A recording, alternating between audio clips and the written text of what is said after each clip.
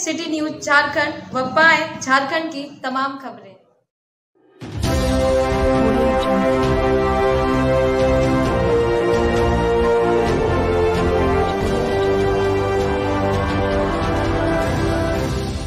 नमस्कार, आप देख रहे हैं सिटी न्यूज़ और मैं हूँ आपके साथ कंचन गढ़वा के तहत डॉक्टर लोहिया समता उच्च विद्यालय में मनाया गया स्मृति महोत्सव। बताते चले कि कितार थाना प्रभारी संतोष कुमार के द्वारा भारत देश को आज़ादी दिलाने में वीर पुरुष स्वतंत्रता सेनानी ने अपनी जान की बाजी लगाकर देश को आज़ादी दिलाई है।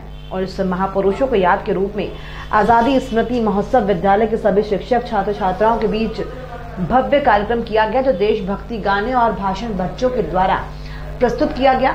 वहीं केतार थाना प्रभारी संतोष कुमार ने डॉक्टर लोहिया समता उच्च विद्यालय के छात्र छात्राओं से भी कहा कि आप सबो देश की ज़िम्मेदारी पड़ने वाला है। आप सभी छात्र छात्रावास देश के भविष्य है और आज का समय शिक्षा आपके लिए और देश के लिए बहुत ज़रूरी है। साथ ही डॉक्टर लोहिया समता उच्च विद्यालय में, वहीं स्वतंत्रता सेनानी के परिवार में रामाटन शाह को शॉल से सम्मानित किया गया। उपस्थित केतार थाना प्रभारी संतोष कुमार, एसआई धनेश्वर मोची, प्रधान अध्यापक जवाहर दुबे, दिलेश मेहता, अनिल रचक, श्रवण भगत, गौतम पाल, सोनू सिंह, राहुल मेहता, रामाटन शाह उपस्थित थे। तरह के बारे में स्वतंत्रता सेनानियों के बारे में बताएँ। इसमें सर आप क्या कहना चाहेंगे? इसमें बच्चों लोग का बहुत बढ़ चढ़ के इसमें प्रोग्राम दिए। उसमें गर्ल्स लोग जो थे बहुत अच्छा प्रोग्राम दिए हैं। उनको मैं तहे दिल से मतलब धन्यवाद देना चाहता और उनके उज्जवल भविष्य की कामना करता हूँ कि आगे चलकर बढ़कर इस तरह इसी तरह करके ये अपने हौसला अफजाई करते रहें और बढ़ते रहें। जी थैंक यू थैंक यू। के बारे में गीत प्रस्तुत और भाषण दिया गया। ये सर बहुत खुशी की बात है। इसमें सर, आप अपने बच्चों को और यहाँ के लोगों को क्या संदेश देना चाहेंगे? आज, आज़ादी स्मृति महोत्सव 30 अक्टूबर 2021 को मैं केतार थाना प्रभारी के सहयोग से एवं अपने स्कूल में बच्चों और बच्चियों के बीच में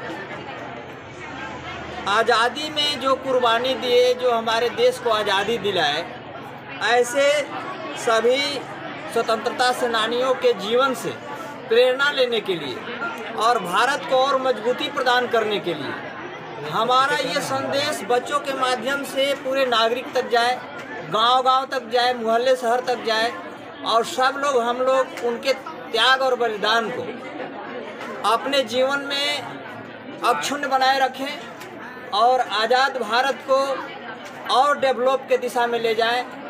इसीलिए आज ये कार्यक्रम शिक्षा के क्षेत्र में, स्कूल के माध्यम से जो किया गया, कि ताकि बच्चे जो हैं देश के प्रति आस्थावान बने, कर्तव्यनिष्ठ बने, और देश का पूरा का पूरा जिम्मेवारी तो भविष्य का यही हमारा भविष्य है।